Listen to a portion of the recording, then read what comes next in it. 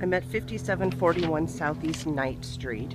Here is the street view. Here's the house. And then houses on either side. Seems to be a nice neighborhood. Looks like lots of gardeners. Um, here's the house across the street. Here's the house on this side. This one's a little bit more run down, but not bad. Um, so this one is fenced in and they have a vegetable garden in the front. It's a quiet street. We are one block off of Woodstock, which again is the street I was telling you about. The New Seasons goes in on 45th and Woodstock. The house looks like it has been meticulously maintained. It's got new windows, the siding looks like it's in great condition. It's wood siding. Again, here's, I'll walk you along the pathway. Fenced in backyard. And here's on this side.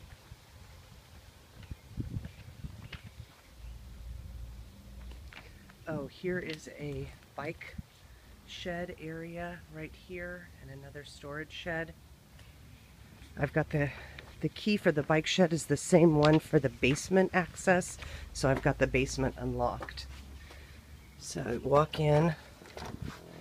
They've got um, laminate flooring, nicer looking laminate flooring though than I often see.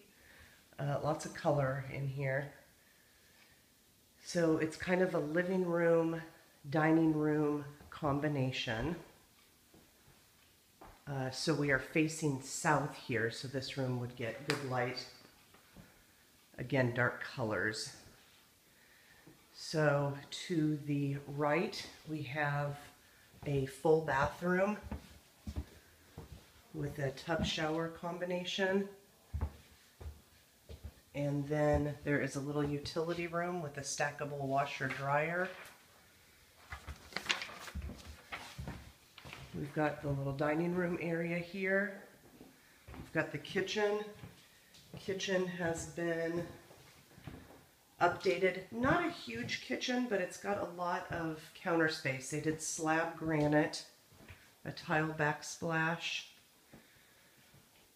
Uh, cabinets, it looks like the micro hood vents out. So here we are facing east.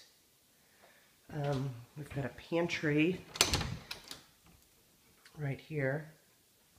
Again, meticulously organized here. Oh, they've done a chalkboard wall area here that looks really cute.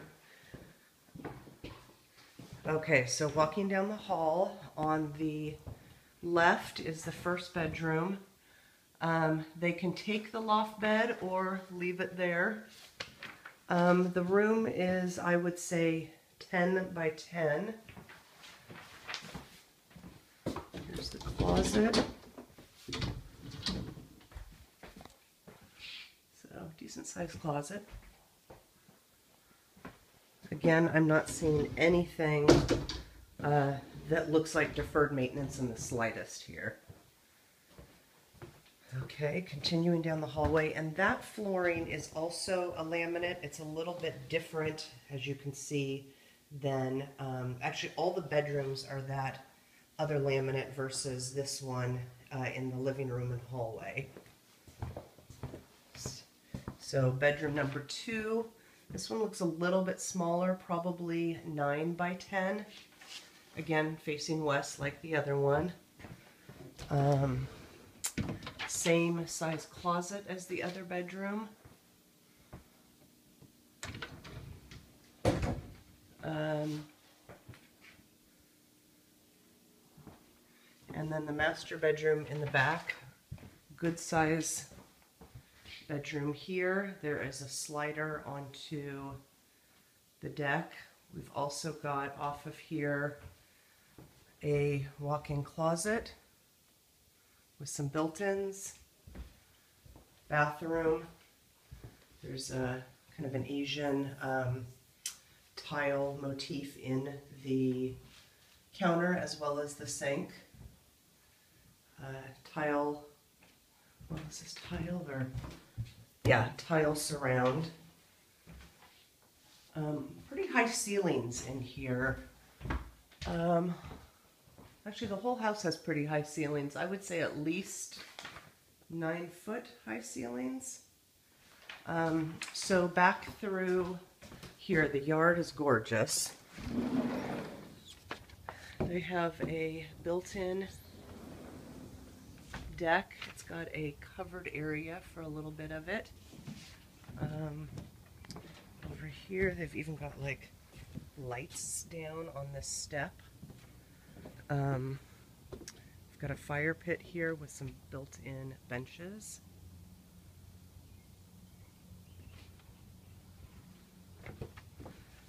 We have a tool shed, which looks like it has electricity here. See if this is unlocked. It's a, a standard Tuff Shed. It's locked. Um, this play area, walking around to the other side. The um, I'll show you that the lot actually continues back behind. There's space for two uh, cars back here. So if you walk to the right of the Tuff Shed, there is another gate.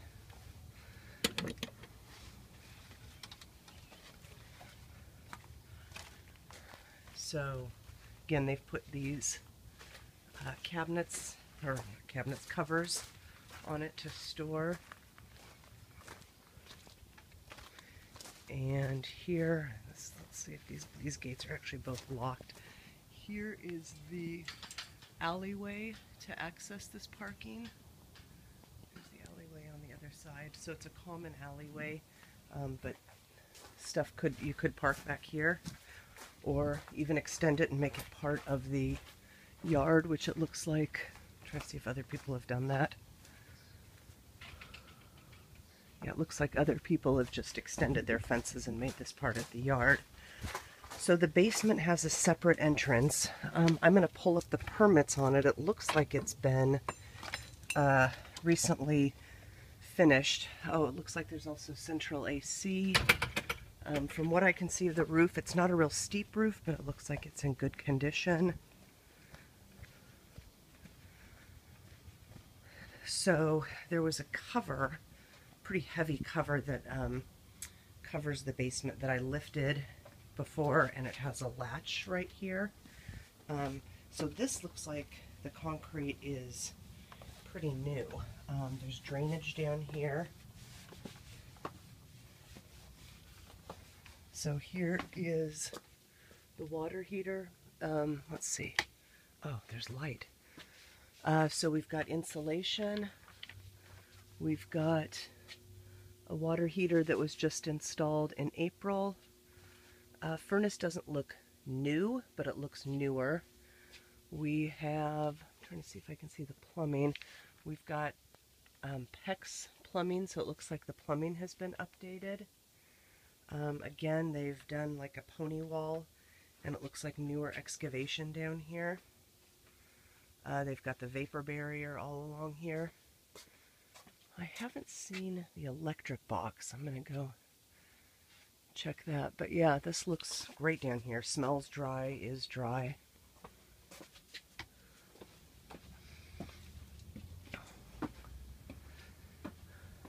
Okay, so there's the electric panel. So I'm going to go back in the house and see where that is. Um, I think you could easily get at least 1600 a month for this house and potentially even 1800 especially as they add um, these stores and stuff onto Woodstock. Um, let's see here.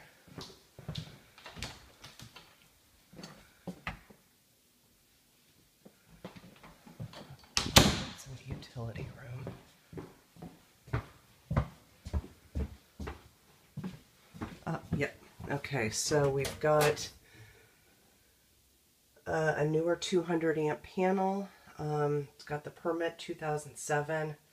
So really, this house aside from if you want to change the paint color, is literally move-in ready, and um, it looks like it's been kept up exceptionally well.